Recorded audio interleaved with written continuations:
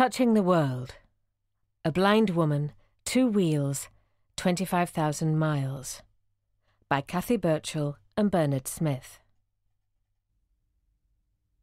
Dedication. In memory of the people we have loved and lost, our personal thanks go to friends and family who supported this mad dream in a hundred small ways. Each one of you is more important than you could ever know. If you dare to dream. Preface Being blind means you see the world in a different way. Wandering through the everyday things of life, you may well cross paths with a person using a long white cane or a lovely bundle of fur called a guide dog. If this happens, you will probably step to one side to let them pass before thinking, I wonder how they. This story, in many ways, reflects on such things, as throughout our long miles together on a motorcycle, people would stand shaking their heads on realizing Cathy was blind. You see, she belongs to the 5% of visually impaired people who have no useful vision. In Cathy's case, I do mean nada, zip, nothing. Across time, life robbed her of what once was, leaving only recollections of a visual existence in her memory. Now she lives in a continuous rolling grey cloud that drifts across her vision, swamping all before it. With this answer, this description, this scary thought for most of us, you may well be formulating your next question. But if she can't see, how can she come to know and write about the world? A fair question to pose, but we might also ask why blind people watch television, go to the cinema, or sit in theatres. Moreover, when they do, does this lack of sight mean they gain little or no understanding of what transpires before them? Our answer to this is contained throughout the pages of our meandering journey through this chaotic, scary, wonderful, exhilarating, delightful world. It's important to understand that each one of us constructs a different world, despite having the same things in front of our very eyes. How is this possible? I will leave that philosophical curiosity for you to ponder, but in truth, Cathy experienced so much more of the world than just a film or a stage production, as she physically and emotionally lived and breathed the story in its entirety. With that in mind, we would like to say that we never actually set out to write a book about her blindness as such. Blindness is only one aspect of Cathy's life, not the totality of it. It is not who she is. The title of this book was chosen long ago because we wanted to encompass her blindness as one of the three very different aspects to the story. To do anything else for us would have been to miss an important panoply of experiences and memories written deeply into us, in both similar and different ways. If we had done anything else, it would have weakened the very true tale that these pages will tell. For now, I would like to add my own thanks concerning the communication system provided by Autocom. Without their support, I would have been seriously compromised in my ability to translate vision into words, conditions into emotions, and the world into shades of everything else in oh so many different ways. Try to imagine a year of describing the world so that you can share it in a meaningful way with another person as it sits before your eyes in ways you've never before thought of recounting. Now, you are me. Because of this experience, I became a better person in fundamentally different ways. No greater thing could I have asked for. Now, before we go on, you are standing alone on an empty beach. The sky above you is the brightest blue. Bernard Smith. Content Introduction, page 1. Europe, page 5. And so it begins, page 7. Balkan Surprises, page 19. There are no embassies here, page 31. The Road to Turkey, page 43. Turkey, the gateway to the east, page 45. The Road to Istanbul, page 47. You need invite to enter Iran, page 52. Back to Istanbul, page 65. Asia, page 69. Culture Shock and Bertha's Return, page 70. Safety in Movement, page 78. Is it likely to rain? Page 88. The British used 1,650 bullets. Page 92. Which side of the road does India drive on? Page 99. Why would you want to be with a blind woman? Page 103. Truly, they have to be felt to appreciate the craftsmanship. Page 109. Which way are the wagons going? Page 114. The road to Gorakhpur, page 118. What kind of restaurant is this? Page 122. Ants and Elephants, page 129. Nepal You Like, page 140. Southeast Asia, page 143. How You View Things, page 145. Remembering, page 148. Do You Have White Wine, page 156. Is That the Sound of a Ring Pull, page 159. Australia, page 169. Good day, stinking bloody weather, page 171. But you don't look, page 178. Meeting a koala bear named Peter rather than Fred or John, page 185. Overlanders and deep sea divers, page 188. Armadillos and seashells standing on end, page 193. South America, page 199. With a lifetime of work, page 200. Some things never change, page 205. A simple thing like ice cream, page 218. Hey Gringo, page 225. It doesn't mean they cannot hear you, page 228.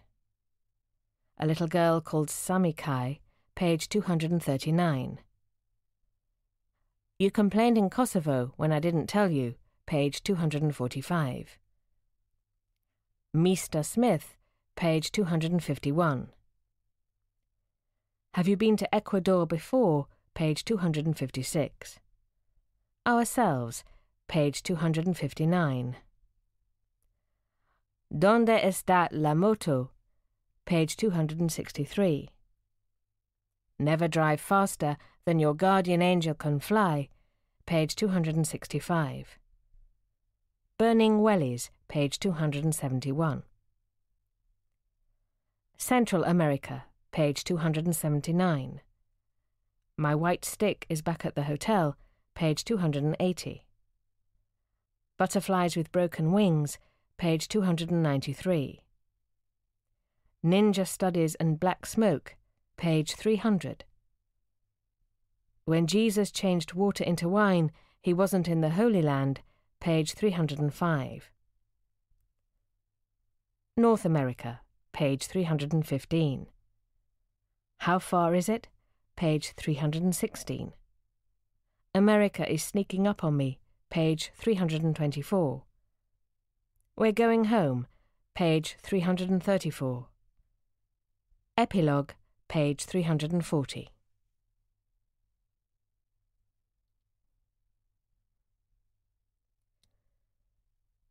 Introduction As a small child, I had no idea my eyesight was anything other than normal. My world consisted of shifting shadows and indistinct images, which I exuberantly interpreted in the way a child does. It never occurred to me that other people could see more than virtually nothing when darkness fell. Objects such as lamp posts or bins on the pavement were all merrily clattered into, as passing people probably thought me distracted or clumsy.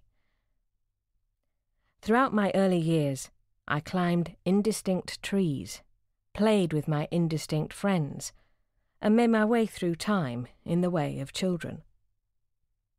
Growing older with my sight, or lack of it, affecting me more, I was often left sitting on schoolyard walls. Meanwhile, my friends played netball, hockey, or simply ran around as youngsters do in playgrounds everywhere. Thus I sat and listened, sidelined by what I could not see in a chaotic, frantic, beautiful playground. Excluded, marginalised, and often alone, I was betrayed before I was ever born. By little cells in my eyes, programmed so that they would never work properly. In class, teachers would tell me off for copying from friends' books, making me feel a failure, small and stupid from an early age. Their disappointment fed the belittlement of me, although looking back, I do not blame them now. The teachers were, by and large, good people who simply did not recognize or understand, as I peered so hard at a board I would never see.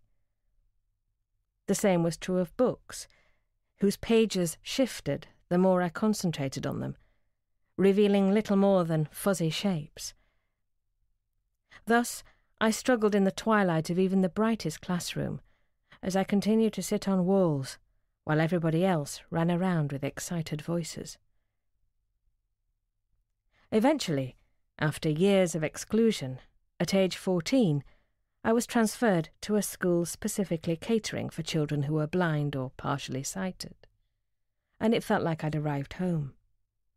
Home in the sense that for the first time in my life, people understood. Truly understood. In many ways, it was the best thing that had ever happened to me. No longer were there feelings of being different or excluded.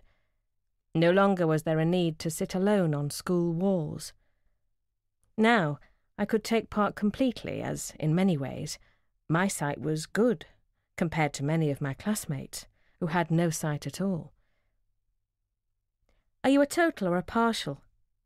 became many of my first introductions to the new people around me hardly a politically correct question in our modern times.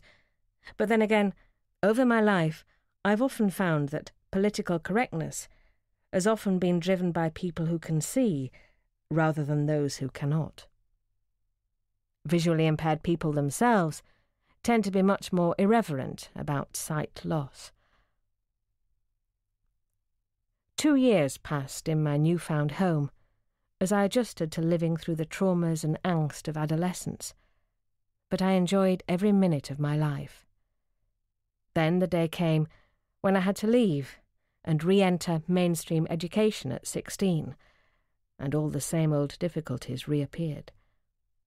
Again, misery descended in twilight classrooms, with teachers who lacked the specialist equipment and knowledge which would have given me any chance of progressing.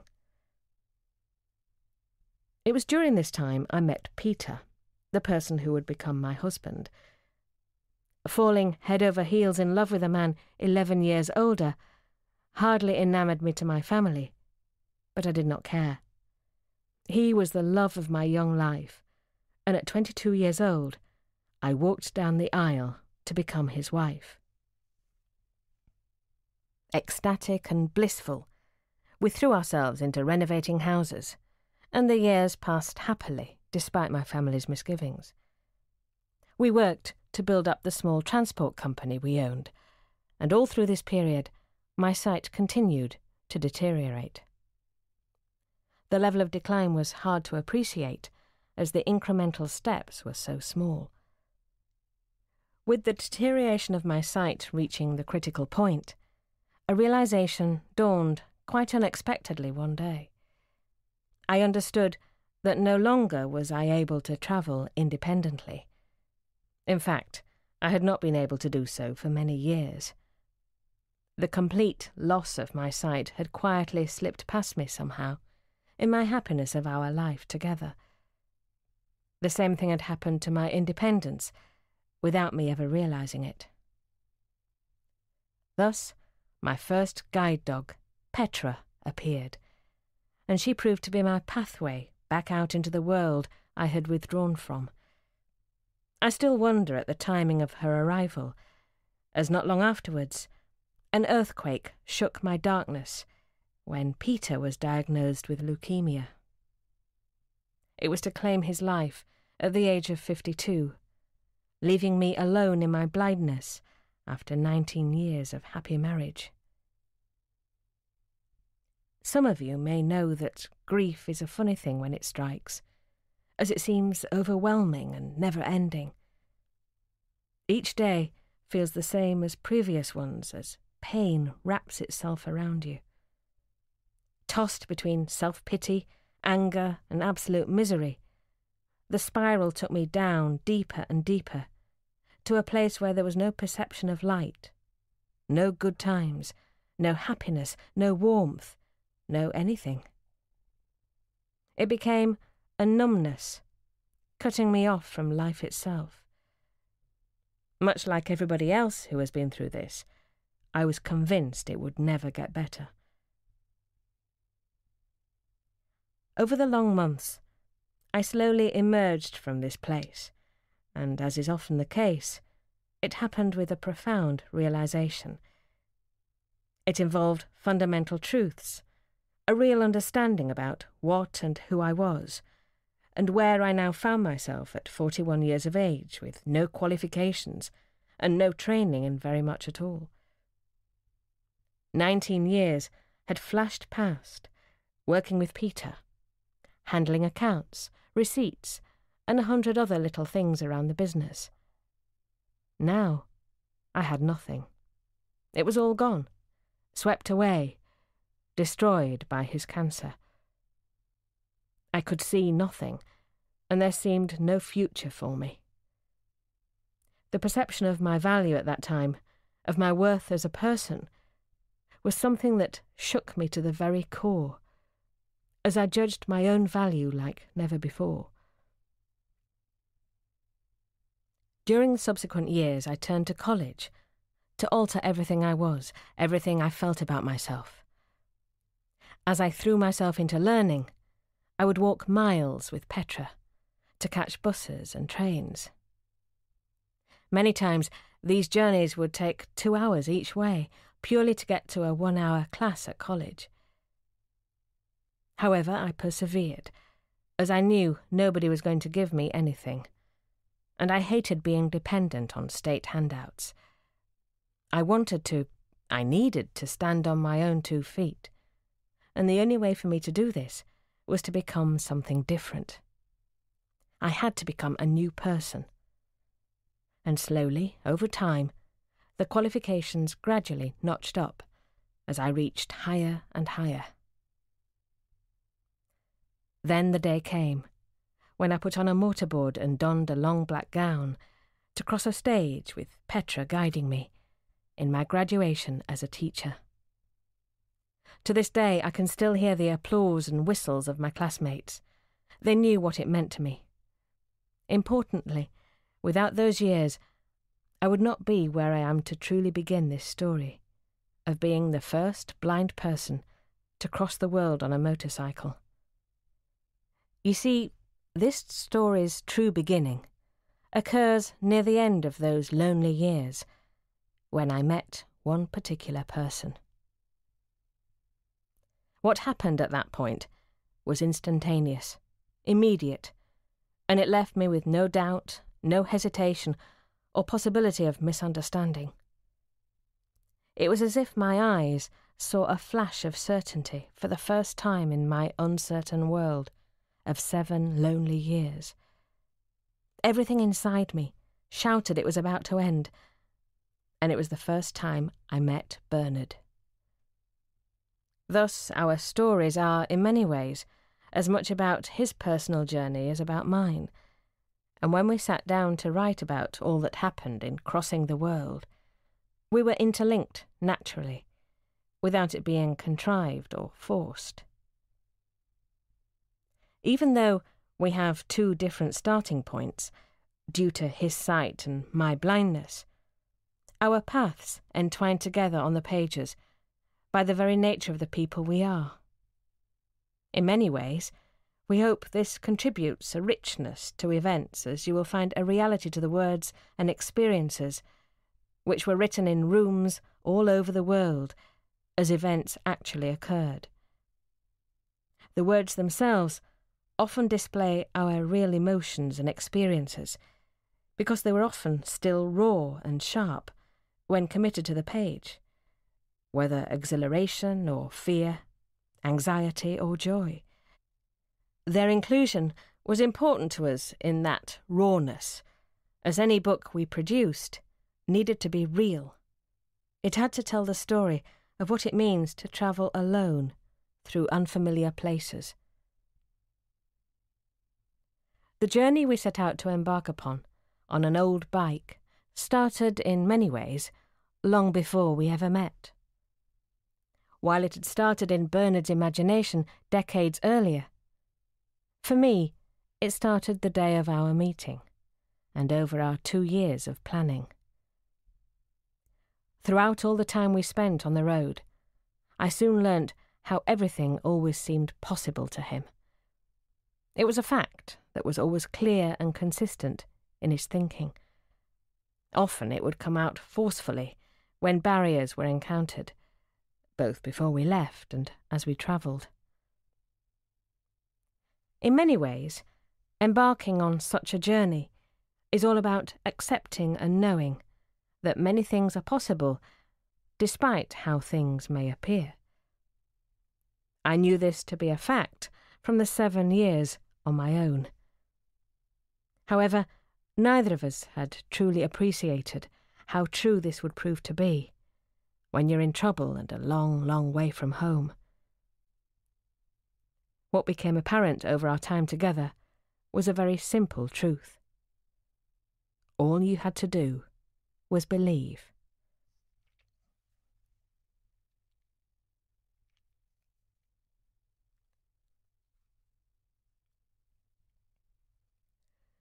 Europe Ireland, France, Switzerland, Italy, Croatia, Bosnia, Serbia, Montenegro, Macedonia, and Greece. And so it begins. The day of departure arrives, with Bernard still fussing over the bike and a hundred other things. Our heads are full of seemingly insurmountable problems as the bike is packed and repacked so many times, I'm sure there must be holes in the panniers. With two hours to go, he disappears into the garage to have a cigarette, which in the past often marked days of disappearing into a black hole.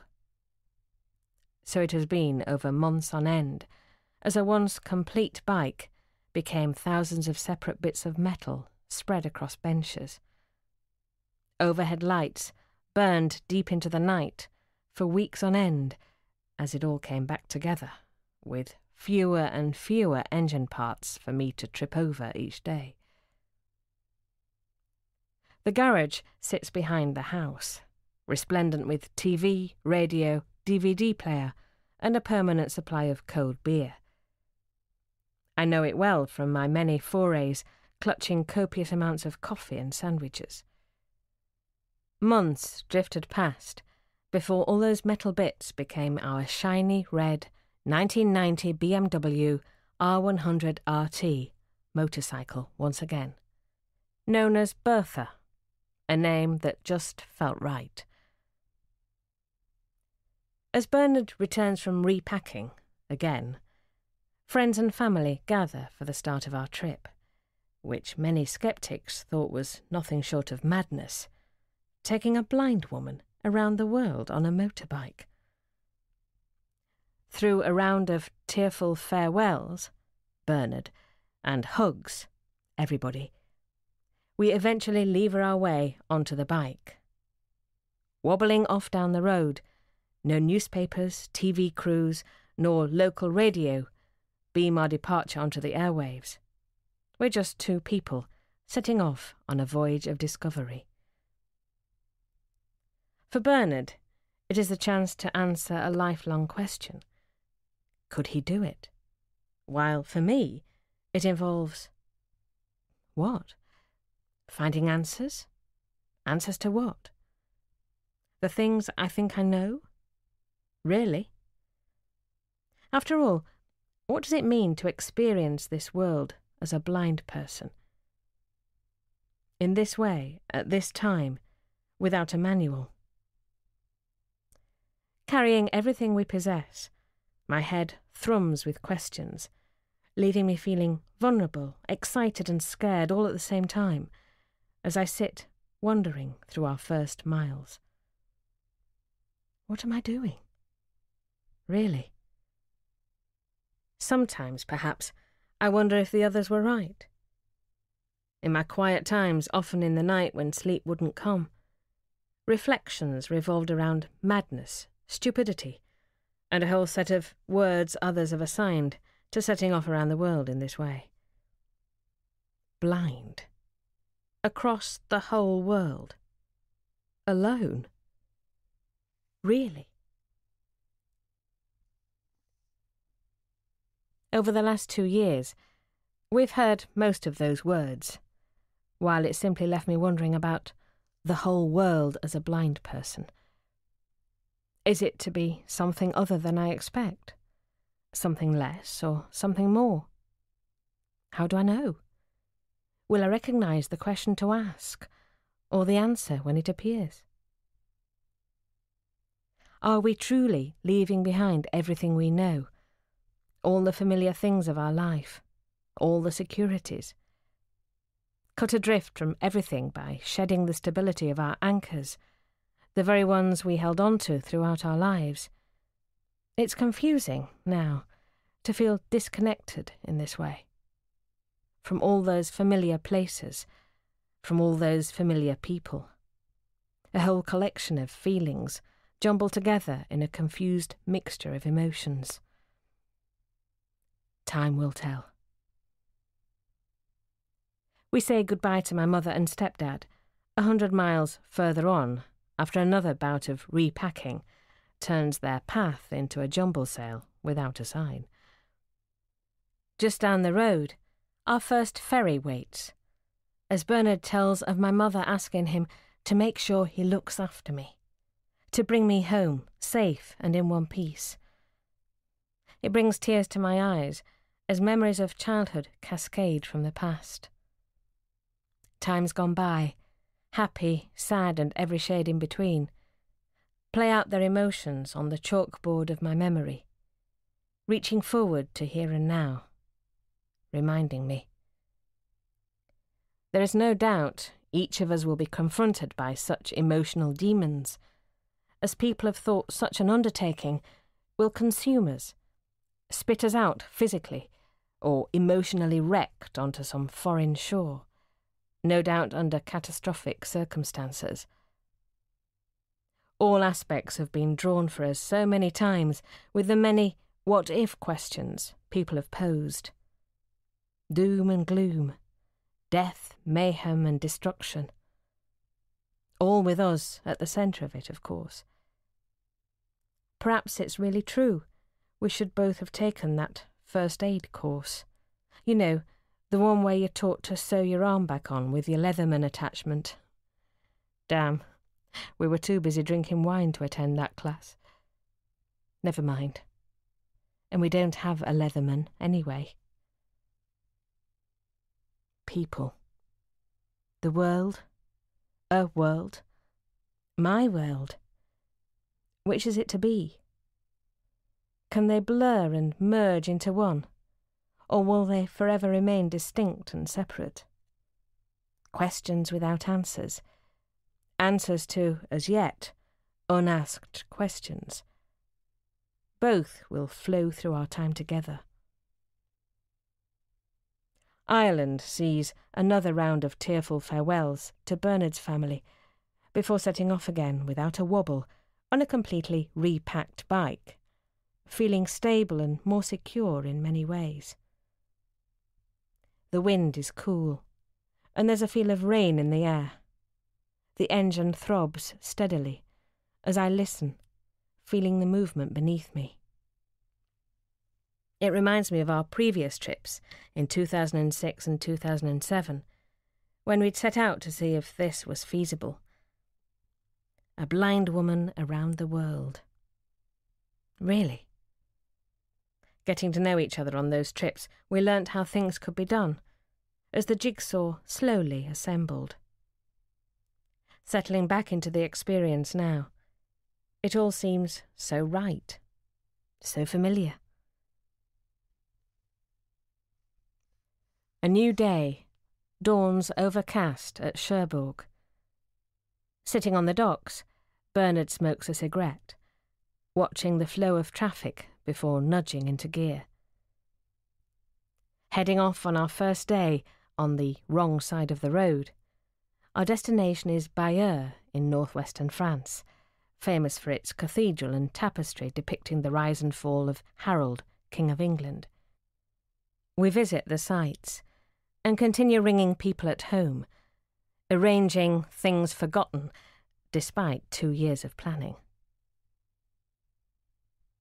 Before long, we're in Paris, and the traffic is sucking us through the Champs Elysees and onwards to the Arc de Triomphe, despite Bernard swearing that he'll ride neither.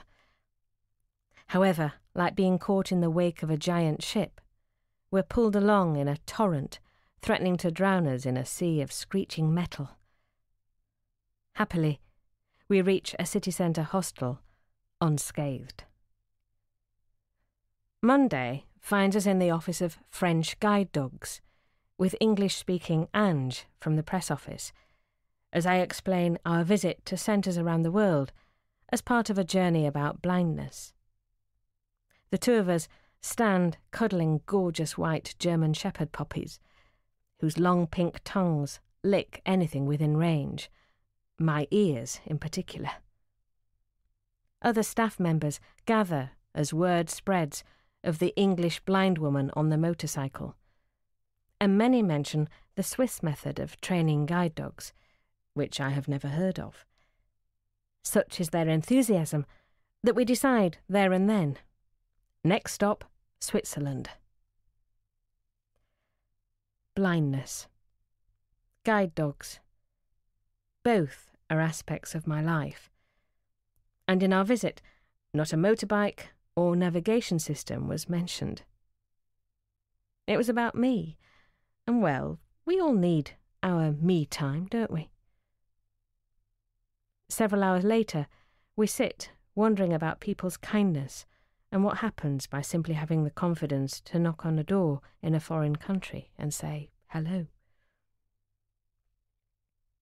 The ride from Paris towards Switzerland is the first day of covering real distance, with a 350 mile journey into a grey wall of rain and wind. For hour after hour, we're blasted sideways as the temporary shelter provided by juggernauts is gone as we pass into the space in front, only for the bike to be picked up and launched sideways again, the conditions sapping our strength. Petrol stops come and go in our well established routines of how to handle Cathy being blind. Our routine consists of the bike stopping at a pump as Bernard gives directions and describes the surroundings. Standing up on the bike's pedals, I swing my leg over the seat to step off the bike, before waiting for Bernard to direct me towards the safest place. Usually, this involves following the bike backwards to the large aluminium black box. All the time, he watches as people around me do not realize my blindness as cars come and go inches away from me. Only at this point, when he's sure I am safe, does he climb off himself. Listening, the sound pattern builds into recognizable sequences with their familiarity. Each small thing becomes numerous facets which a blind person separates to create understanding, to give meaning to events. Thus, the side stand clicks down, the bike tilts left to take the weight. He climbs off himself, shifting upwards. The bike slowly comes back towards me as a 350 kilogram bike is pulled onto the centre stand. A simple thing. Click, tilt, rustle, movement, movement, clunk. After two such stops in a day of cold rain, we've had enough, and Bernard is starting to go quiet on me, unlike virtually the whole of the day. Throughout our time, so far, weird and wonderful stories, interspersed with motoring updates, come through the intercom in strange voices, as if from the captain of a plane, giving altitude, directions, speed, and weather conditions.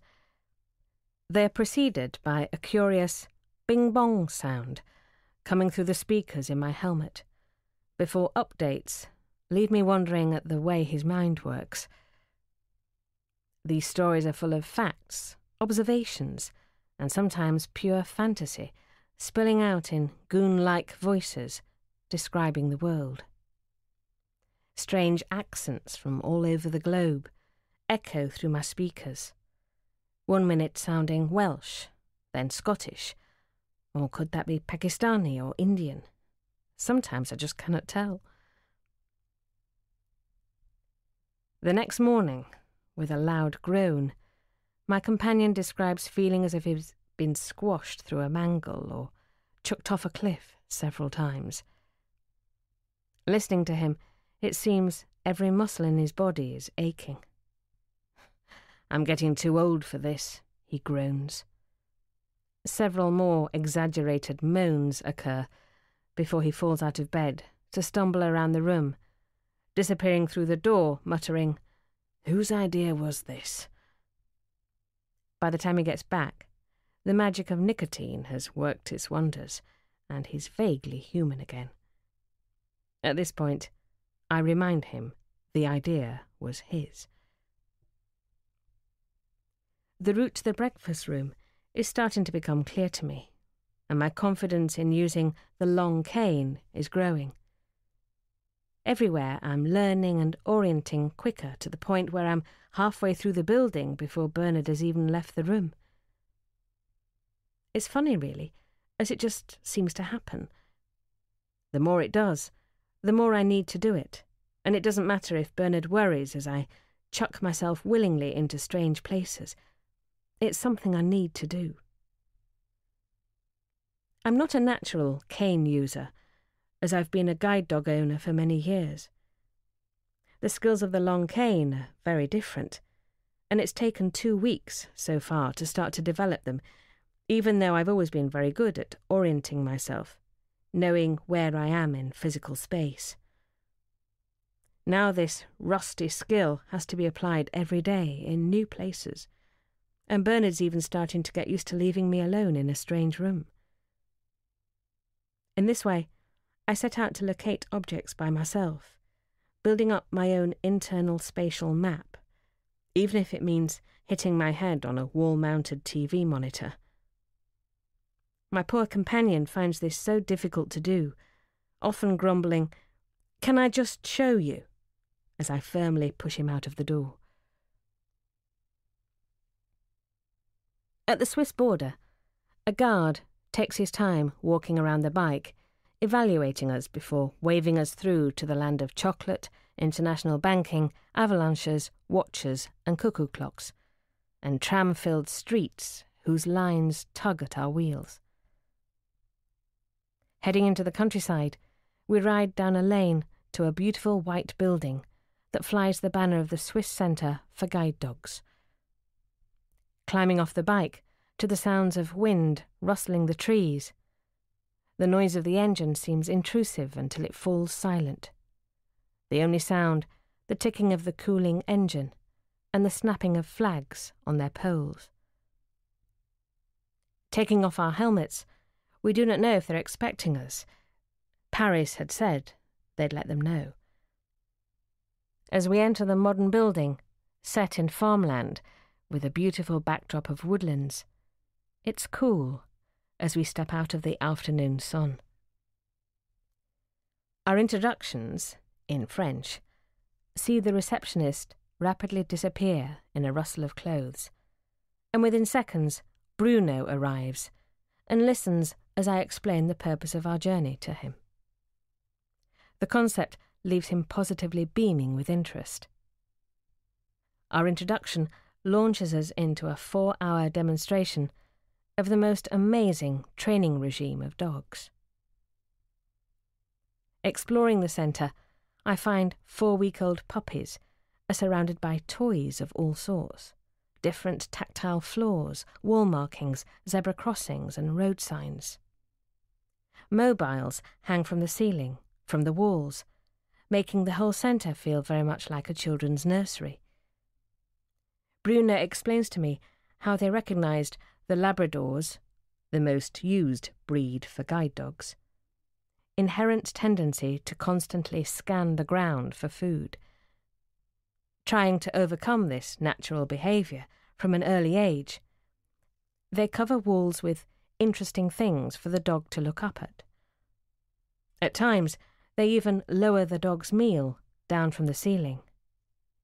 Thus, over time, the dog naturally looks upwards as an awareness develops of all things above them. On the streets, meanwhile, this translates into overcoming Rover's inherent tendency to happily scan the floor for last night's discarded kebab or bag of chips.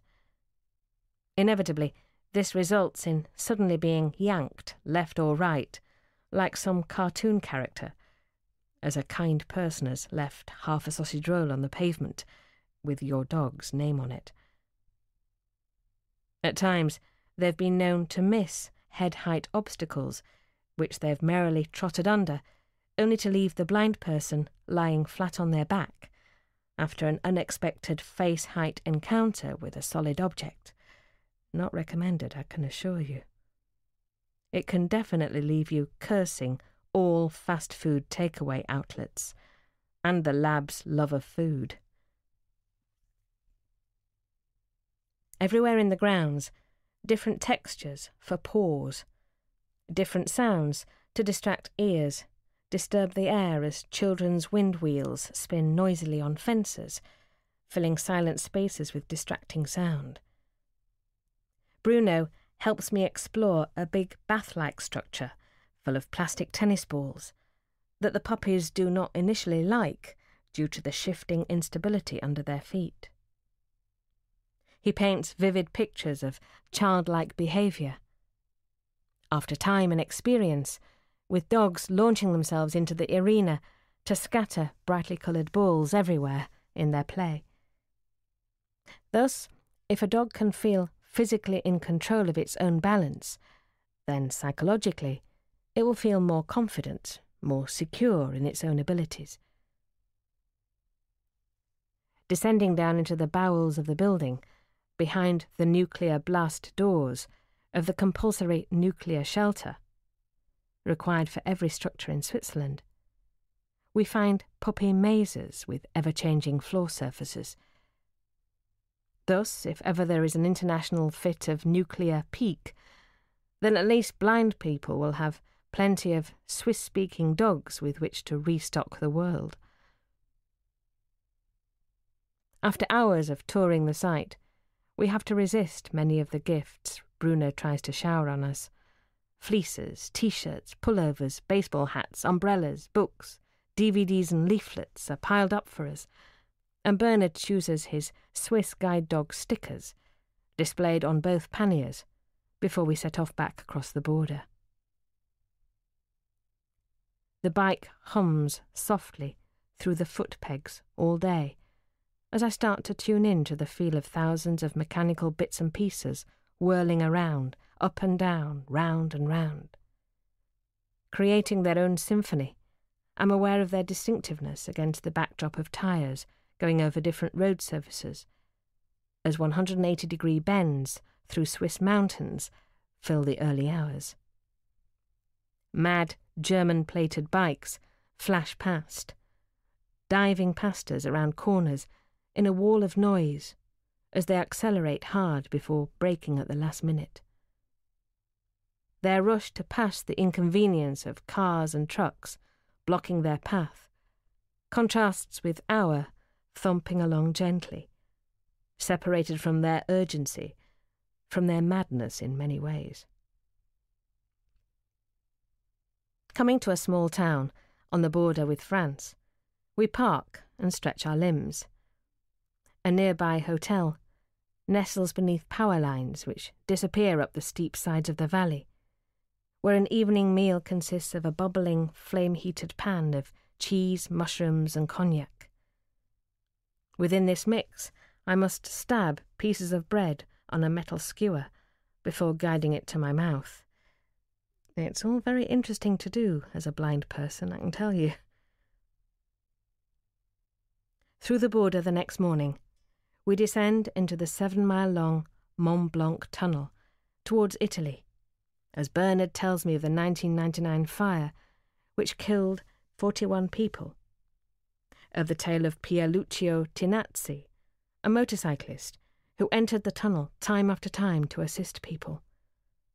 He died on his fifth attempt, and a plaque commemorates his extraordinary bravery.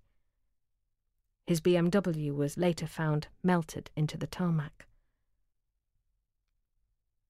With the newness of everything, the sombre mood soon lifts, and we pull into a lay-by for me to use my talking phone to let people know we're alive and well. On discovering that my voice software isn't working, my mood dives southwards, and for the next hour we try to get it to work, but to no avail. Feeling cut off from accessible communication, I'm denied a sense of autonomy and control. Importantly, the phone contains a list of emergency contact numbers, should Bernard ever be incapacitated. After an impassioned call to my sister in England, two hours later, my talking phone makes a miraculous recovery after various buttons are pressed and reset in strict order. Bernard's laughter fills my helmet as we set off. Tunnels hewn through the Italian mountains thunder to the sound of Bertha's exhausts before we eventually arrive at Vercelli at 7 pm. It's early but Bernard has a rule about travelling on this journey. Actually, he has many rules, but one is applicable here and now. Once the light starts to fade, we get off the road and find a pillow for the night. It's an 82 euro pillow, but we're tired, and also there's a garage. Little did I know that the garage was a subterranean labyrinth involving descent down what feels like a corrugated ski slope full of three foot high speed bumps set eight inches apart. Thus, we end up very shaken, but not stirred.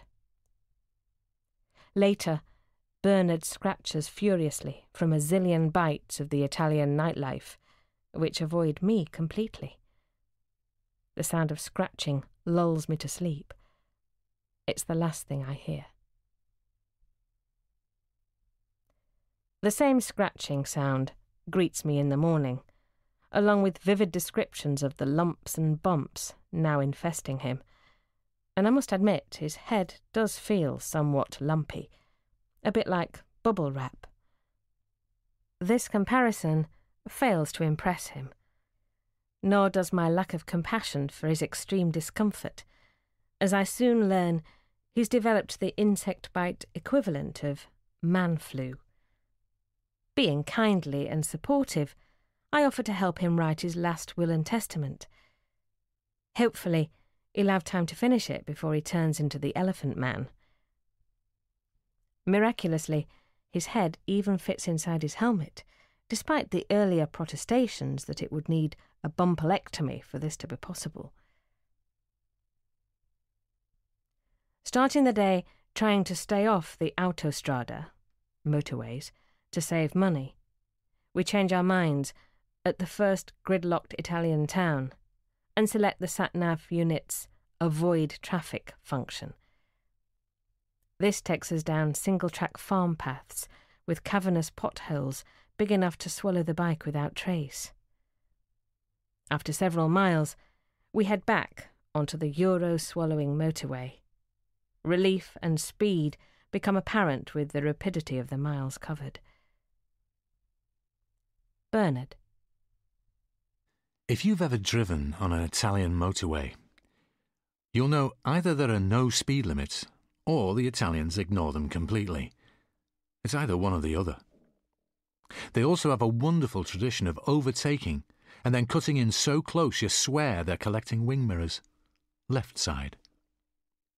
On many occasions, it appears they want to park their cars on our petrol tank as they come so close it would be possible to share strands of pasta on a fork, like two lovers, through open car windows.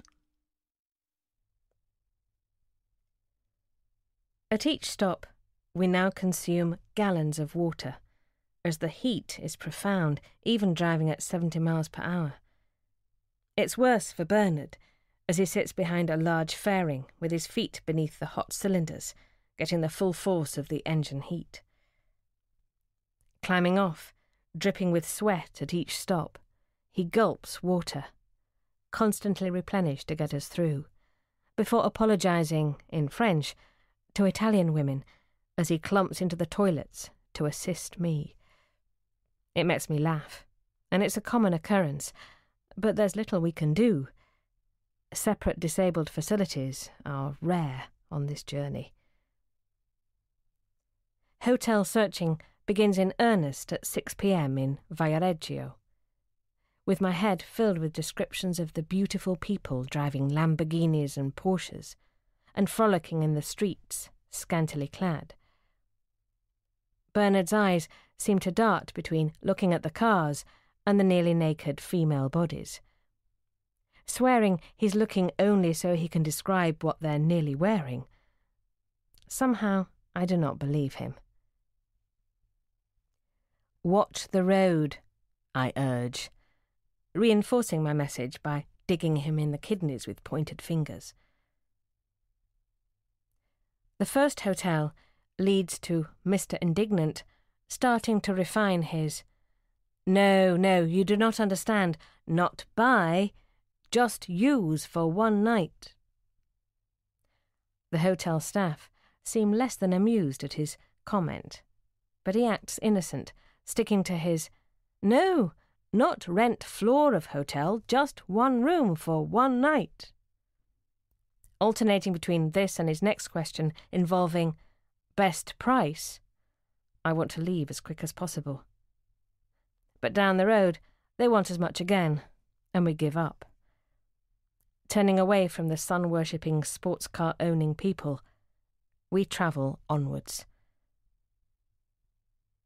Even though it's getting dark and we're tired, there's little choice but to continue, as Bernard assures me something will turn up. It always does. We just have to wait. Sure enough, twenty kilometres later, an affordable hotel appears, and with it comes relief at the end of a very long day as sleep comes easily and quickly. Our destination is a convent in Rome, where the nuns do a little side number in bed and breakfast, but the heat of the day turns oppressive, heavy, leaving our mouths dry when we breathe in. All I can do is to take little sips of water to keep it moist. A sweat dries instantly, leaving me clammy and looking forward to a shower. Meanwhile, Bernard is quiet for long periods, admitting the heat and straight white lines are somnambulistic. With little to keep him interested on this long, straight road, it's like riding into a furnace, with his feet feeling like two boiling the bags inside his motorcycle boots.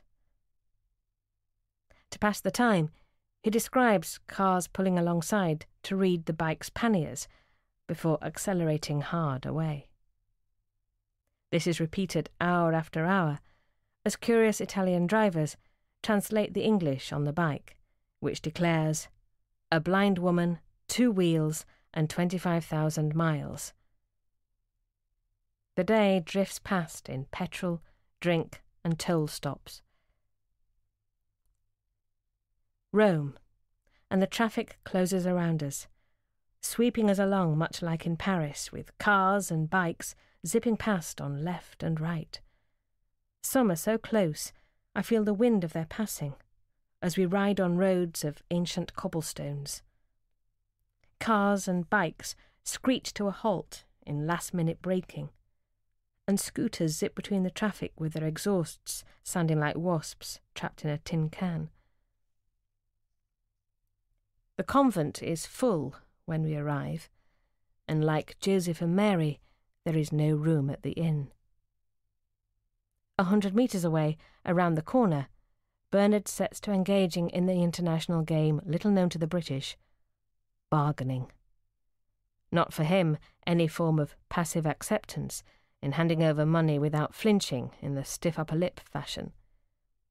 Wheedling, joking, and smiling his way through the encounter, he chips away little by little until no better price can be extracted. Standing in the foyer, with sweat dripping down onto the immaculate marble floor, he tries one last ditch effort. Does that price include evening meal? The woman laughs, so the assumption is no. The next morning, clutching our scribbled directions in Italian towards the metro, underground, we find the system shut down as some poor soul has kissed the train or committed suicide, which it seems is very common. When this sad event occurs, Rome takes to the buses while complaining bitterly over the inconvenience. A man adopts us for the bus journey while insisting on describing all the main features of the city, as Bernard furiously tries to keep track of road names as the bus zips along. During the journey, he shakes hands so many times as the next stop is his, only for him to change his mind. It may well be he stayed with us to make sure we got to our destination, the Vatican, without getting lost. With the whole bus watching, we say our fourteenth farewell to him and climb off. St. Peter's Square is quieter than expected and wandering through the tomb of St. Peter, with descriptions flowing to me of everything around us. A heated exchange occurs between several tourists. The guards will allow no pictures or videoing. Voices are raised as they aggressively state, I put you out if you take picture. Walking on to leave them arguing in the centre of the compassionate Catholic world, the basilica feels cold to me, with little real atmosphere. This is probably a function of the marble encasing the whole building, leaving everything feeling very clinical. The metro has reopened by the time we reappear, and the train reveals French college students with loud voiced teachers frantically trying to keep track of their charges in the crushed conditions. Sitting wedged between them, Bernard tells me of similar trips he used to take, of how teachers grow eyes in the backs of their heads with the passing of years in order to avoid losing pupils. Sorry, Mrs. Jones, but the last time I saw your daughter was. of how he gave it all up, left teaching, and still missed it in many ways. At the Colosseum, Bernard encourages me to have a hands on exploration of a Roman soldier, despite my obvious reluctance for groping a complete stranger in broad daylight, with witnesses filming everything. So it is that people pass by before turning back to watch and photograph, as I explore the uniform, the significance of each item being explained by the wearer. Joining the entry queue for the Colosseum, with my face slowly returning to its normal colour, An American tries to convince us to take a tour, to shorten the 40 minute wait in the shuffling queue, for a price. We ponder before deciding what are 40 minutes in the realm of being away for a year. Thanking him, we edge forward, and 10 minutes later we're at the front, and entry is free anyway, due to my blindness.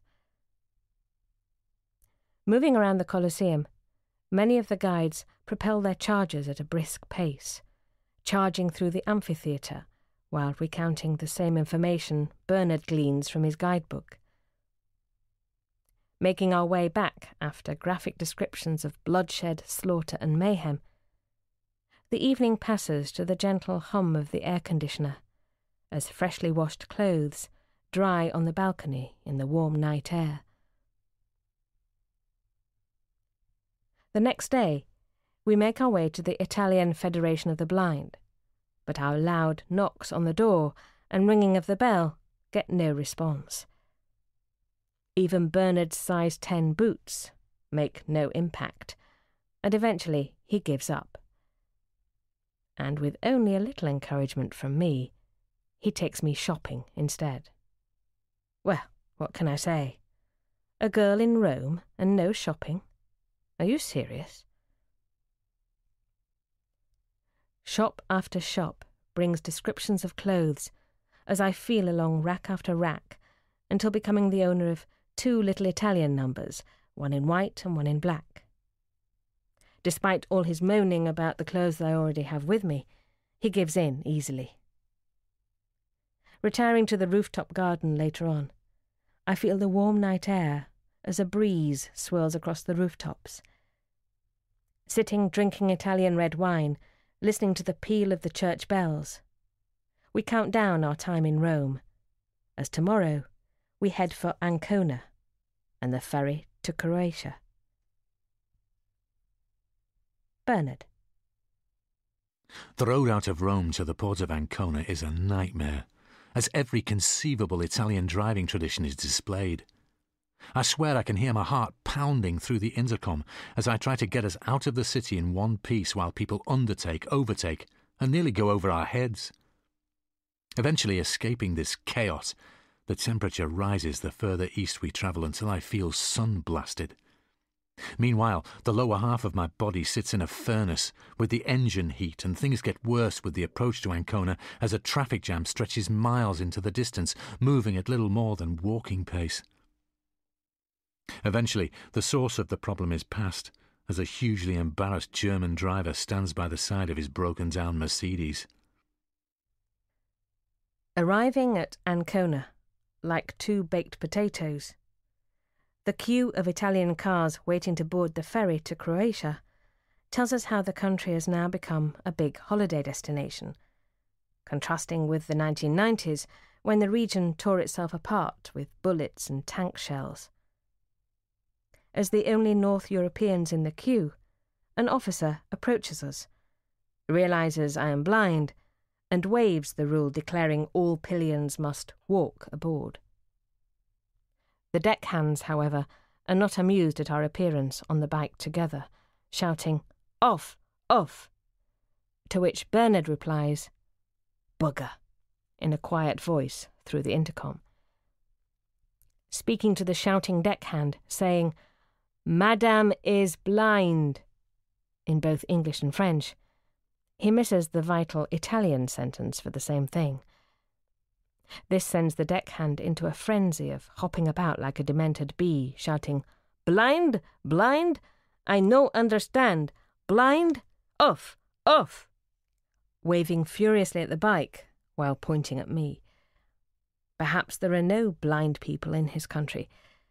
Or maybe English or French sounds as incomprehensible as Japanese to a Lithuanian deckhand working on a Croatian ship.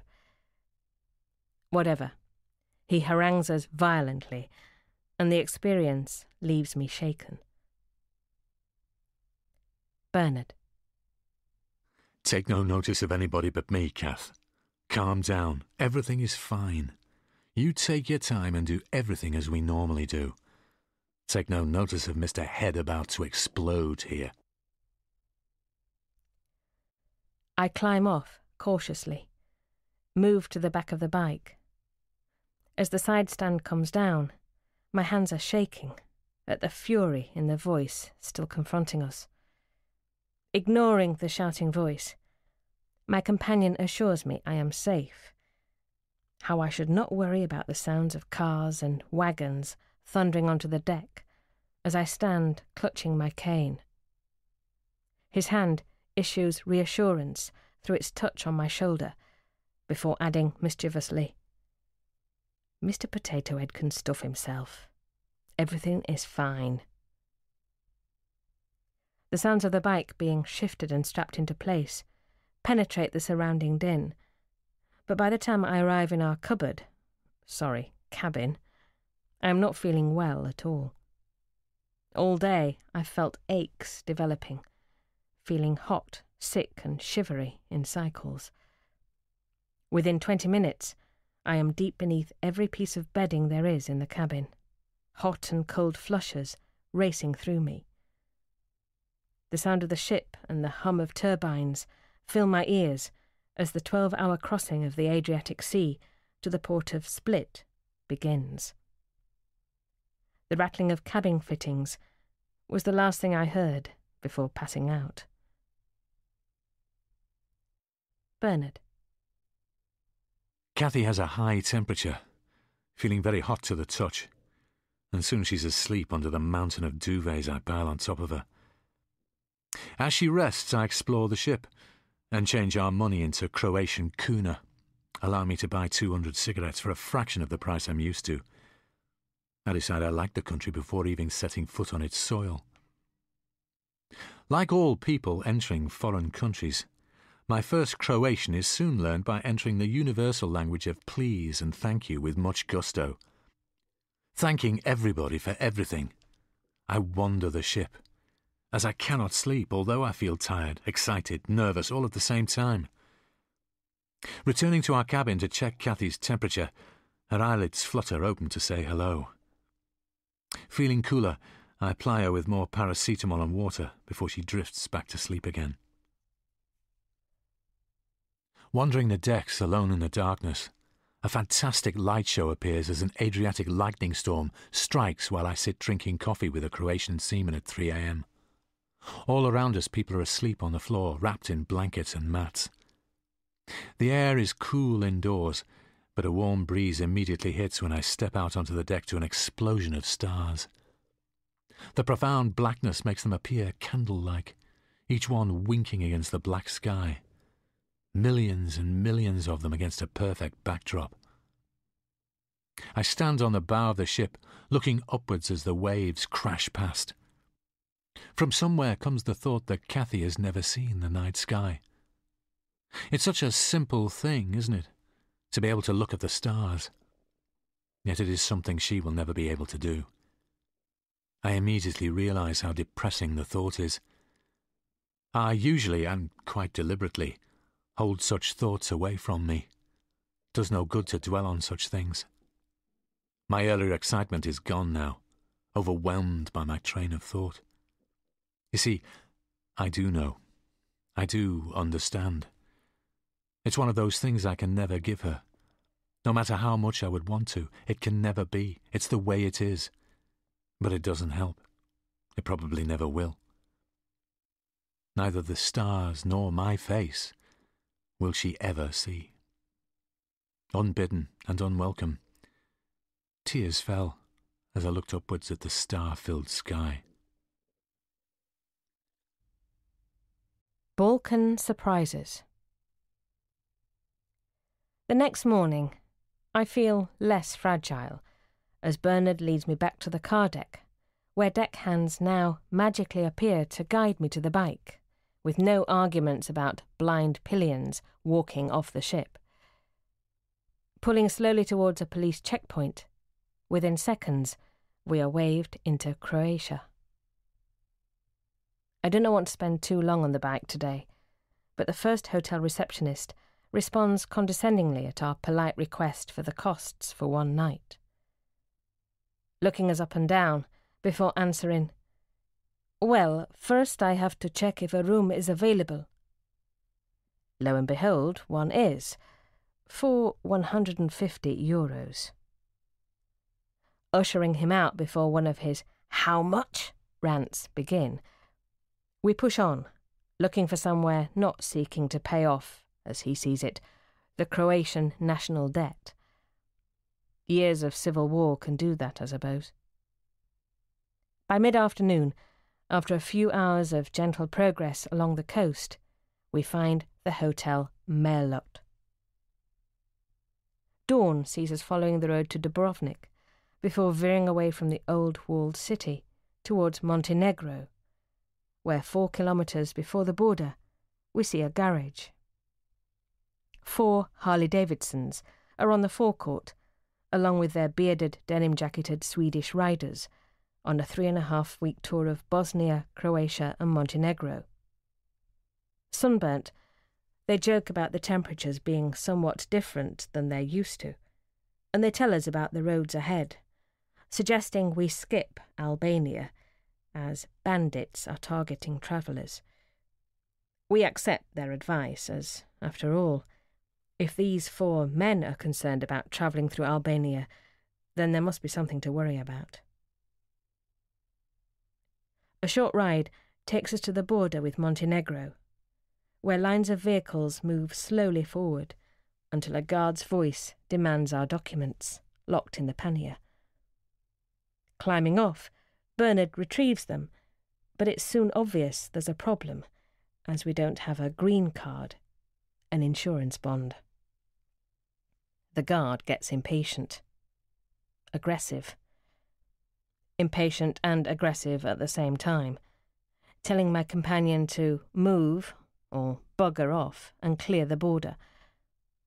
However, when he realizes I cannot see, the transformation occurs.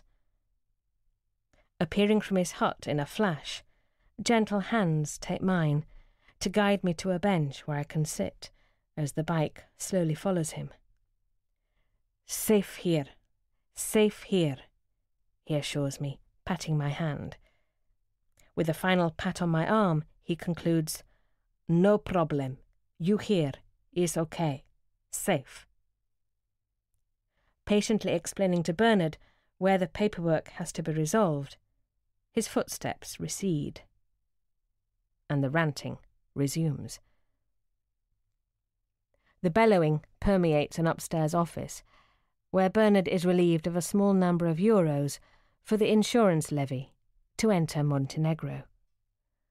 Soon back downstairs, the bellowing guard waves in our direction, giving Bernard a big thumbs up from his position. We return happy signals back in his direction. Falling into bed later at a nearby guest house, we ponder his reactions, his perception of my need, my vulnerability, and his ability to seek to soften that insecurity. All blind people feel this, at one time or another, give or take, plus or minus. Sometimes it takes so little to reduce the impact. Drifting into sleep, the silence is shattered by dogs barking on the hill above, lasting most of the night, and complete with howling doggy harmonies. We bury our heads under our pillows to muffle the sound, but in the morning we feel rough. After breakfast, the massed ranks of locals line the veranda with paparazzi cameras firmly pointed in our direction. Everybody waves us off as the first English ever to stay there. It feels very strange to be seen off in this way after only one night. At Le Lepetana, we pay the princely sum of one euro fifty for a fifteen minute ferry crossing that sees us crammed in among the cars with no room to breathe.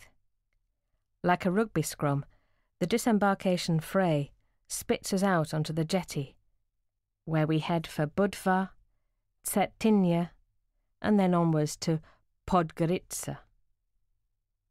Every time Bernard pronounces the town names, they sound different.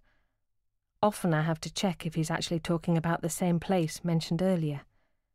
You'd be surprised how many vocal variations he can generate with a name like Podgorica.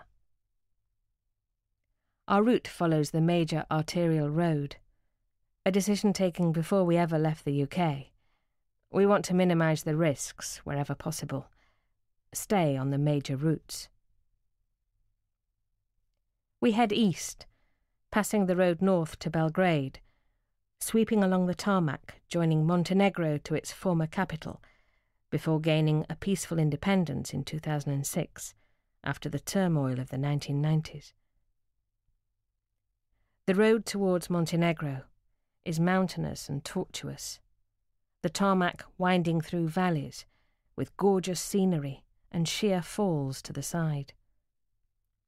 We travel slowly, carefully, through the rapid switchbacks with their uncertain surfaces. Passing through numerous tunnels, the sound of the bike echoes against the hard rock surfaces, and I gauge their sizes by the echo bouncing back. They're dark, according to Bernard, particularly so after leaving the bright, bright light of the day. Somewhat worrying sentences come from him, such as, Where's the road gone? I notice that Bernard seems tense, on edge, and as we down drinks at a later stop, he admits something feels wrong. The weight of the bike and concentration level required on these roads is worrying him. When we encounter really bad road conditions in later countries, such as India and Pakistan, will he be able to manage the bike? Leaving this thought for later, he sets off to find a Montenegro badge at the nearby garage, returning minutes later to where I sit in the shade. Like an excited two year old, he recounts the attendant presenting it to him as a gift for Traveller. All his cares seem to have disappeared as we remount the bike. It's funny how such a small thing can alter his mood, but in many ways, I'm still learning about him. His moods, his worries, everything in between the complexity he sometimes presents, has to be learnt about, slowly, patiently. The receptionist waiter at the hotel we find hours later reminds us of Manuel from Fawlty Towers. He greets us with such enthusiasm when we fall in through the door after a frantic day of mountain riding, where 200 kilometres feels like 600, leaving us both glad the day is over. Collapsing onto the bed, the mountains show through the large windows of our room. England seems so far away as a thunderstorm sweeps through the valley the next morning, with streams descending the steep sides to the swollen river behind us. Lightning flashes across the heavens in bright streaks, blasting through the sky, and ferocious thunderclaps roar as rain hits the floor, bouncing upwards six inches. Our friend Manuel, or Slobodan, his real name, could not be more attentive. Soon, picking up all the little things being blind means in terms of placing cup handles the right way, or indicating where things are on the table and so on. He's a real treasure, and such a lovely guy. His English is as good as Bernard's Serbian, and it's hilarious when they try to communicate. Once the minefield of breakfast is traversed, we set off to find a pharmacy, as I'm still not feeling well. Bright blue skies have appeared after the earlier pyrotechnic displays. No one speaks English, French, or even Franglais, and Bernard resorts to pantomime in explanation concerning my coughing and sneezing, and washing his non existent hair. Cleaning imaginary teeth and using face wipes I can only laugh and imagine. In the end, the shop fills with people watching the mime show, but they don't seem to get it. Eventually, the poor girl lifts the counter and motions for him to hunt her shelves for the necessary items. Arriving back at the hotel, I dose up and disappear under duvets for several hours of restless sleep. Bernard. After Cathy has curled up, I unpack the bike and consider what to send home to further lighten the bike. The car park is littered with everything we have, spread out in nice, neat bundles. Rows of this and that, bits and pieces. Essential and mega essential items. I consider every item, its merit, its worth in terms of space and weight. Hours later, Cathy is awake. Asking her opinion, soon the box is filled with inessential things. I agonize over only one item my second bike manual, but decide to send it home. Strapping everything onto the seat, I set off to the post office in Kolasin to send our second parcel home in under four weeks. The post office is empty when I walk in and place the box on the counter where blank and puzzled staff, all smoking despite a plethora of no smoking signs, stare at me. After about ten minutes of frantic gesturing in English and French and my two phrases of Serbian, please and thank you, it dawns on me the parcel is not acceptable, not being wrapped in brown paper. Ah, big problem. They don't sell brown paper or parcel tape. OK, where? I point to all four points of the compass. Scorpio, they conclude after a hurried discussion in Serbian. Pardon? I think the puzzled, universally understood frown is apparent. Scorpio comes through loud and clear in three part harmony, along with a whole subtext signifying, You stupid boy. I ponder with the same mystified expression on my face. One of the women waves for me to follow her through the building, past the toilets, through the storeroom, turning right to the back door. Clutching the box under my arm, the back door opens and a hand waves in vague directions while repeating the term Scorpio several times. I practice my Serbian thank you like a native as the door closes behind me, leaving me with no idea where I'm supposed to go. Twenty minutes later, I find Scorpio, a T-Mobile shop with a sideline in brown paper and parcel tape. The box is soon on the shop floor where it's chased around much to everyone's amusement. They stand in the doorway scrutinizing my every move, waving to their friends to come over and watch as well. Fifteen minutes later, I think the consignment is bomb-proof, covered with copious amounts of brown paper and parcel tape. Thanking everybody in the shop at least twice in my fluent Serbian, I head back to the post office. Now, not that the staff duck when I reappear, but I'm sure they argue about who is going to deal with me before one of them passes the necessary Serbian post office forms. Forty euros disappears over the counter to cover the cost of both parcel and fifteen Vatican City postcards as I shake hands with all the counter staff, still practicing my Serbian for thank you, which sounds like hwala, by the way. I exit into the sun and as the door closes behind me, I can hear laughter. Perhaps they weren't laughing at me, but I'm not so sure. By the time I'm back at the hotel, Cathy's on the verge of ringing the British Embassy in Belgrade to report me missing. All in all, though, it just seemed to be another day in downtown Montenegro, doing a simple transaction. His voice contained both pride and regret at the eventual division of what once was a single country. The owner joins us and tells of being taught to fish by his father and grandfather in the river Plaznica, just behind the hotel. His grandfather had fought the Germans as a partisan during World War II, when the inhabitants of these mountains tied up thousands of Germans. Chasing them through the ranges all around both sides had played their dangerous game of hide and seek.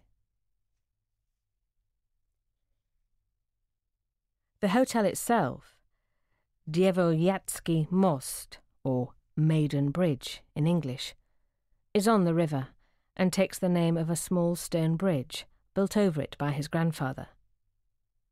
As a child, fishing there, he decided to build a hotel on the site where the Germans and Serbian partisans exchanged prisoners during the war, a film being made about it in 1976.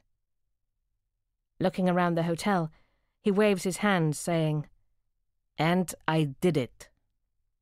It's good when a dream comes true. In the morning, we realise that six weeks have drifted past, and we've taken to asking each other, What day is it? Or, How long have we been away now? A sense of dislocation from the rhythms of everyday life has crept in, surrounding and sealing off our previous existence of work, home, and sleep. Our before time, or life, as it was, now seems bizarre. In many ways, we're starting to feel like gypsies, always on the move.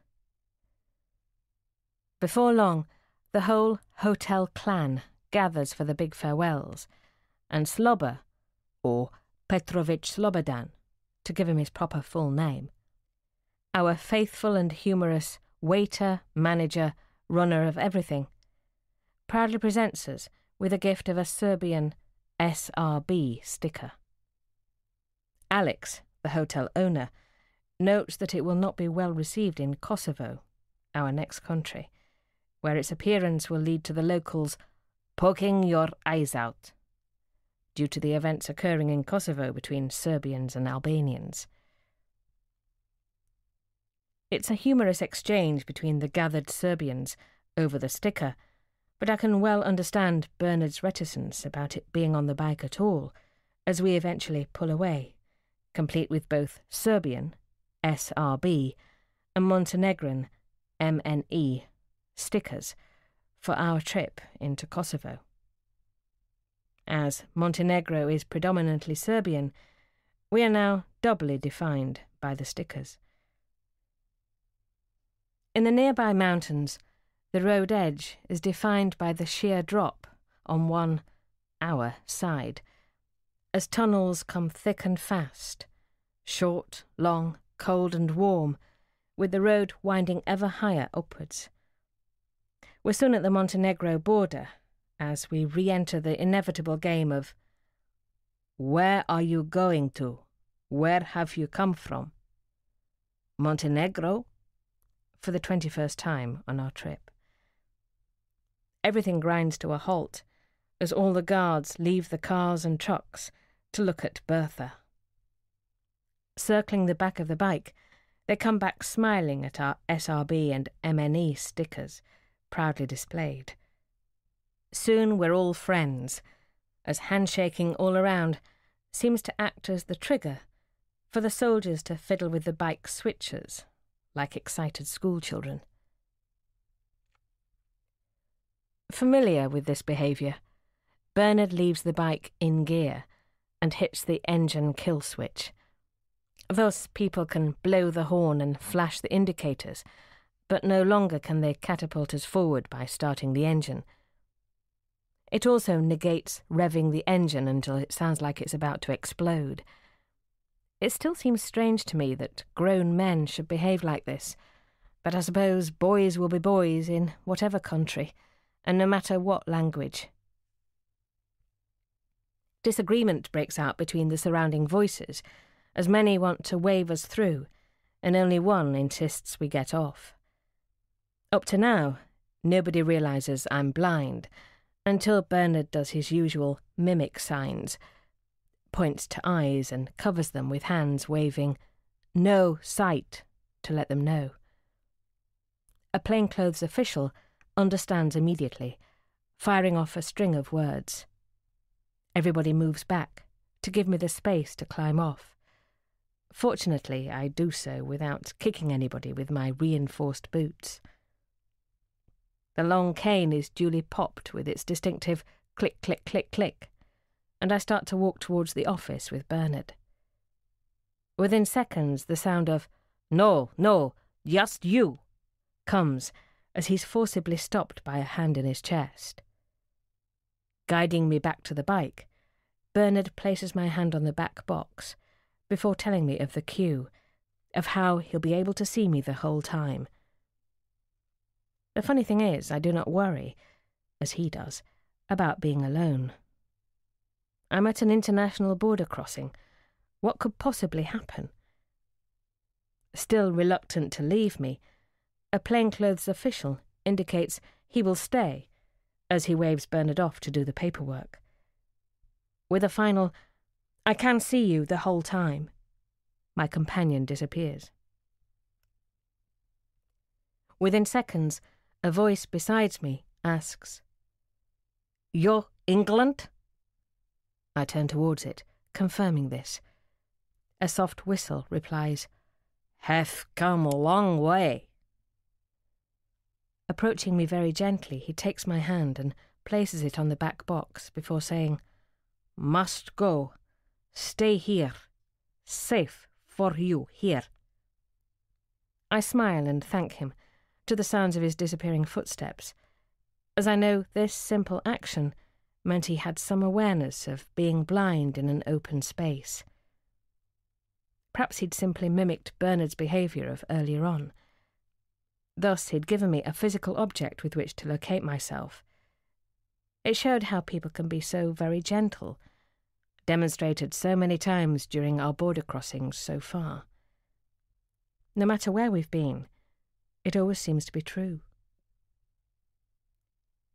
While the time at this border has given me a really interesting insight into men and their attitude to machines, for me it will always be remembered for the gentleness of the short sleeved man, of how he gently guided my hand to the back of the bike. It spoke volumes about human nature, and it was louder than any bike engine. Riding away from the border, the roads are rougher than anticipated, and for long periods, Bernard is quiet as the tarmac has deep channels dug into it, which constantly rip the front wheel sideways, causing the bike to suddenly veer to one side. Within a short distance, the road splits in two directions, with no indication on the map of the new bridge stretching across the river veering off somewhere. Ahead, another checkpoint flies the Serbian flag, denoting an exit from Serbia, we think. Which way? We go straight, assuming that beyond this checkpoint is the United Nations controlled region of Kosovo. As such, we'll soon be entering the no man's land between this disputed region which led the United Nations launching airstrikes against Belgrade, the capital of Serbia as it is now. Inching forward, slowly, in preparation for another crossing, the third in under an hour. The two policemen on the border smile as we pull up. Within seconds, they wave us through into a strange area with nothing on the road. When I say nothing, I mean absolutely nothing. Not a person nor animal can Bernard see. Riding through this twilight world, I hear of some of the things he knows of this area, where so much death, destruction, and relocation of people characterized the disintegration of the former Republic of Yugoslavia. The euphemism ethnic cleansing was coined to encapsulate this disintegration of the country seeing Croatians, Bosnians, Serbians, and Albanians all seeking to push their neighbours off their land. It's hard to reconcile our experiences with this period of their history. Having met so many of these people on our journey, it leaves us pondering about the same event occurring in England, with the Scots, Irish, Welsh, and English all killing each other. I know historically they did, but we grew out of it, mostly now trying to put it into a contemporary time frame, neither of us can imagine it. Soon we enter areas containing enormous concrete roadblocks as heavily fortified United Nations areas appear. Riding at barely walking pace, we slowly negotiate barriers, including steep concrete down ramps in the road itself, before drawing up at a final barrier. Waved down by the Kosovo police, it's immediately apparent the female police officer does not understand English. But within seconds, a United Nations officer appears, asking our destination. Athens, Bernard answers, as we learn of the special transit pass required, which will take only a few minutes to sort out.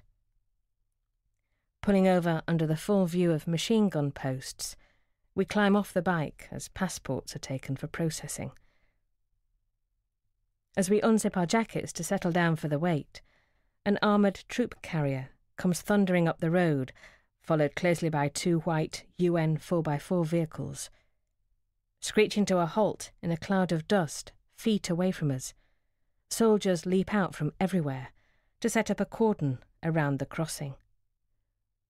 Photographers appear from one of the vehicles, and snap, snap, click, click sounds occur all around, to the sound of French voices, as Bernard describes the tall, very handsome, and very senior French officer who strides towards us. The cameramen capture the officer shaking our hands, introducing himself in a flurry of words ending with, Do you need anything at all? Thanking him, we let him know nothing is needed. The French camp is completely at your disposal. If you require anything, water, food, anything at all, please let us know. Snap, snap, snap. The cameras capture all as he talks to us. Bernard takes the opportunity to ask whether the SRB and MNE stickers on the bike will present any problems for us. Foreigners nobody bothers about. Now, if you were Serbian or Albanian, it would be a problem, but for you, no. Thanking him for his offer of assistance, he wishes us well on our journey. Disappearing, but still surrounded by the click, click, click of photographers, we stand waiting. Within ten minutes, our passes appear, and we're free to continue. Much like the entry to the border, the outward journey is surreal in the passing through a land where nothing moves, be it vehicle or person. Coming round a bend, a squad of soldiers sit in the shade, waving at us. Returning their waves, we disappear up a road of unlit tunnels, and we go from bright sunlight into the darkest night. Within seconds of entering one, a startled exclamation comes through my helmet as the bike is wrenched violently to the side as a roaring sound fills my ears. It's that quick, that sudden. The blink of an eye, and then we're out of it, as Bernard explains what transpired. Bernard. We entered the darkness, and suddenly, in the totally black surroundings, two men are kneeling in the middle of the road facing me. In the pitch black of the tunnel, they're kneeling, burning white lines on the road, with no light but the blaze of the tool turned on a fraction before I ran over them. No warning signs, no high visibility jackets, nothing. Two Kosovo mothers must have been saying their prayers for their sons that day. The houses in this part of Kosovo all fly the Serbian flag. It's draped over every building. It flies from every telegraph pole, from every electrical pylon. It's absolutely everywhere. Passing through the region, we often rapidly slow down, and I know we're entering yet another UN position to move forward at walking pace, weaving around the various obstacles designed to stop cars crashing through checkpoints. The Swiss flag flies high above the early ones as men look down at us from the heavily protected watchtowers, waving us through without ever stopping. It's now that I start to understand that the UN presence is probably more to protect the Serbian community as they've moved from majority to minority at the stroke of a pen on a map from being in the driving seat when ethnic cleansing began, they now watch helplessly as the majority forge forward to form a link with Albania. This feeling is further reinforced as the UN checkpoints fall behind to reveal houses now flying the Albanian flag. Never again did the Serbian appear. The path south grows worse and the bike starts to weave across the road as Bernard searches for the best surface in hypnotic movements swaying from left to right. The road is bad, and our teeth chatter. There are long periods of silence as, in the middle of describing something, Bernard will suddenly stop mid sentence while he works out where to put the bike. We never go above 40 miles per hour, and for long stretches our pace is even slower. My lasting impression of this landscape is of burnt out homes littering the environment. A place where bulldozers have pushed off roofs, leaving families with nowhere to live. Forced to leave after generations of occupancy, I try to envisage the human misery surrounding such an act. It's so hard to imagine. Putting myself in this position, suddenly people come and tell me to leave my home. Right now I am no longer welcome. Then my neighbours, whom I've known all my life, bring a bulldozer. The end is placed against my roof. It pushes. Watching these events in my head, clouds of dust rise as children cry, unknowing, not understanding what they're seeing. I can't shake the image the Serbians we've met on our travels, the kindness experienced. It's hard to put the two events together in my head. The images of shattered buildings full of shell and bullet holes remain powerful reminders of people's inhumanity to their fellow beings, all of whom want only the same basics of freedom, a sense of security for their family. I suppose like a phoenix rising from the ashes, the consolation, if any is to be had, concerns the signs of reconstruction, which are everywhere. New houses have been built right next to the shattered homes, left standing precisely as they were when events unfolded. They seem to act as permanent reminders of how quickly things can go wrong between peoples with a shared history. Passing through miles of this landscape, the realization dawns how the areas first we crossed did not show these ravages, this brutality of intent.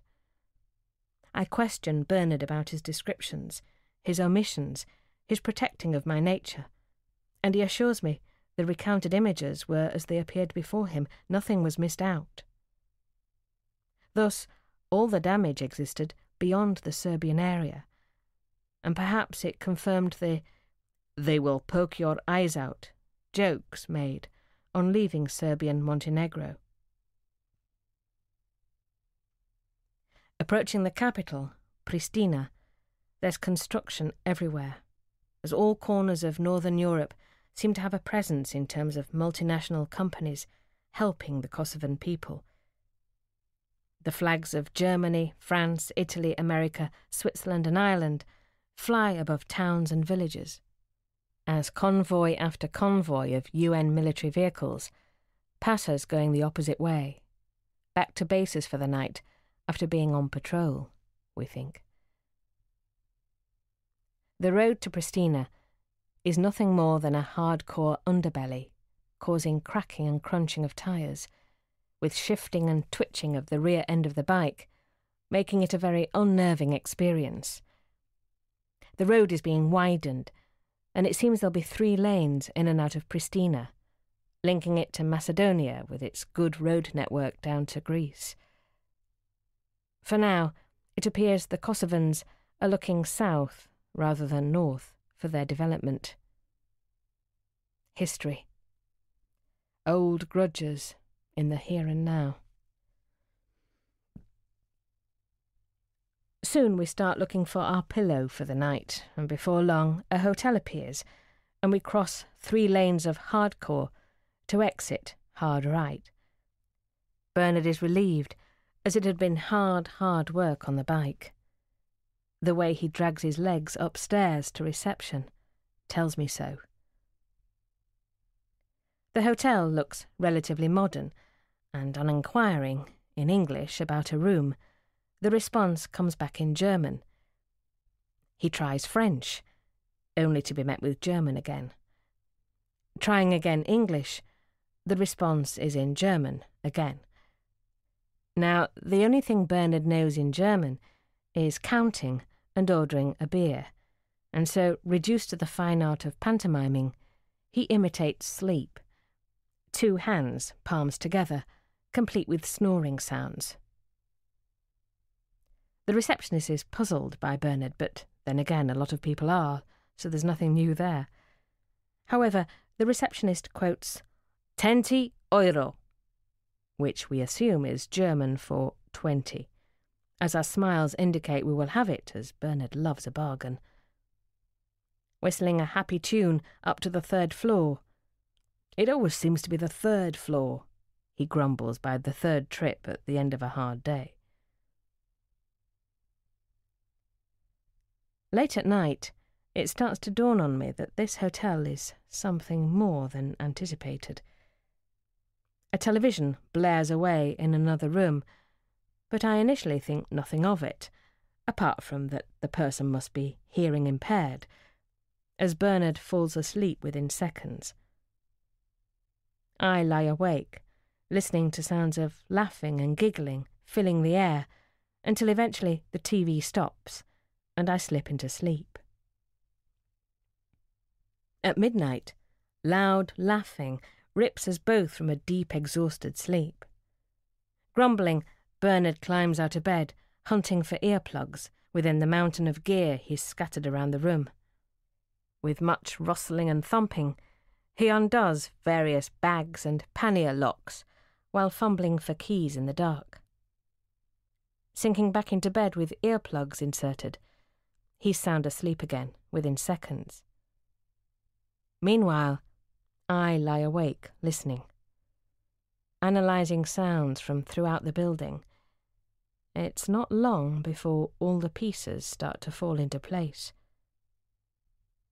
From the numerous television sets echoing loudly through the air comes the sound of grunting and groaning as I start to ponder if the programmes could truly be about weightlifting. Soon, other sounds start to penetrate the air, those of passion and energetic, frantic sex. When I say sound, I actually mean a wall of it, all around me, in stereo. Nay, more like quadraphonic. Meanwhile, Bernard sleeps on. I honestly think somebody must be having a baby next door, due to the sudden outbreak of throaty bellowing coming through the thin wall separating us, like an elephant in labour. Loud thumps nearly shake me out of bed at one point. It causes the walls to start vibrating and the lampshades to tinkle on the bedside tables. I'm not sure if the passing traffic causes the windows to rattle, but I have increasing concern for our well being, caught in the middle of this seismic disturbance as the room shakes from the pounding above our headboard. Meanwhile, Bernard sleeps on. The baby is delivered next door to the full crescendo of a female voice shouting, Oh, yes, yes, yes. At least that's what it sounded like, although this is Kosovo. Like a relay race, the baton is passed over to the room at the foot of our bed. And again, all the noise is female. Not a peep is heard from the male. Nada. Nothing. Zip. The only sound indicating this is not a solo activity is the sound of slapping. Heavy, heavy slapping, not a little tap, a tweak, a mere precursor to some form of light-hearted slap and tickle of the amorous kind. What I mean is a capital slap. You know, the sort normally associated with arrest for assault in most countries.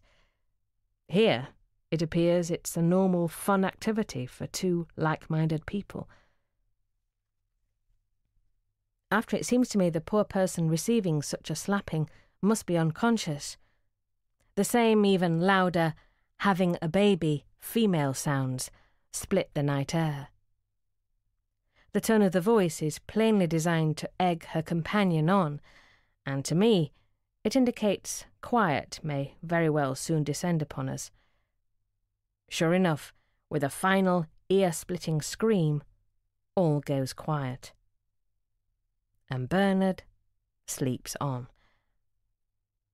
I lie awake. Surely sirens will announce the arrival of the police due to the ferocity of that final scream. Without doubt, some dire deed has been performed, requiring a coroner's report. A trial will ensue. We'll be called as witnesses. Well, I will anyway. I mentally write my statement and remember the time while waiting for the heavy knock on our door. No police arrive. In the resulting silence, I think to myself, thank God that's over. Within minutes, the silence turns out to be merely a pause, a pit stop, a period of refreshment, and a time to change drivers. Lighter footsteps leave the room at our feet, and two female voices talk in the corridor before being joined by a man's voice. Then the door slams at our feet, and the coffee break is over as the whole scenario replays to even throatier exultations from our enthusiastic female performers. Meanwhile, Bernard turns over. Spreading himself across the bed, I hang on as he nearly pushes me onto the floor. It's during the third or fourth birth I begin to replay our arrival here, along with the descriptions given to me of the environment. Number one, the receptionist seems completely puzzled by our need to sleep. This was despite turning up in motorcycle gear, covered in layers of road dust.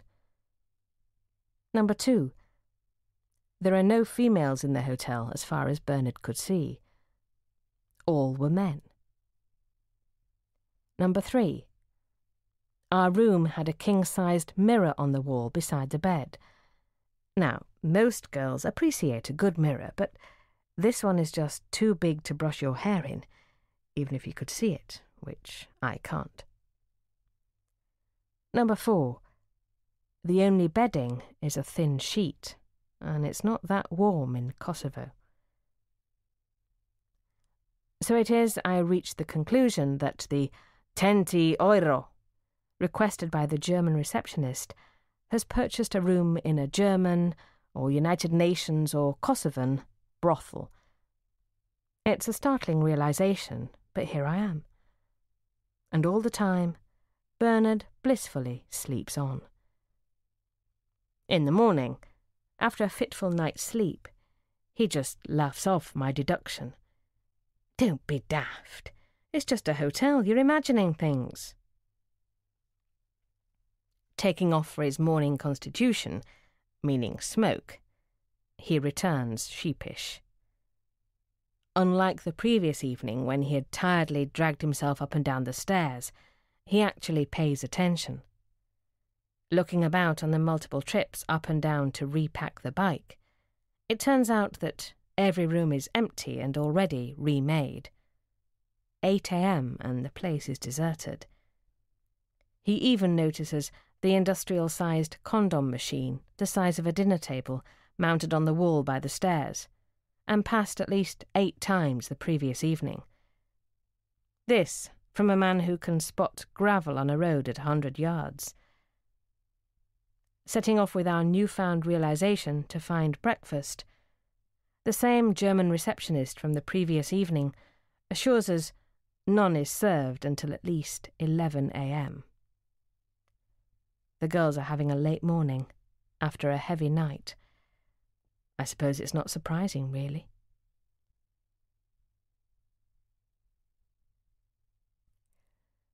There are no embassies here. The road onwards alternates between brand new highway and other sections that feel like a giant rake has scored the whole road into deep channels. They grab the bike, and for hours and hours, Bernard constantly corrects our line. In the distance, a valley is covered with a pall of dense black smoke, released from small factories. Dry dust blows off the verge, creating little whirlwinds on the road. We hope you enjoyed this preview. To continue listening to this audiobook on Google Play Books, Use the link in the video description.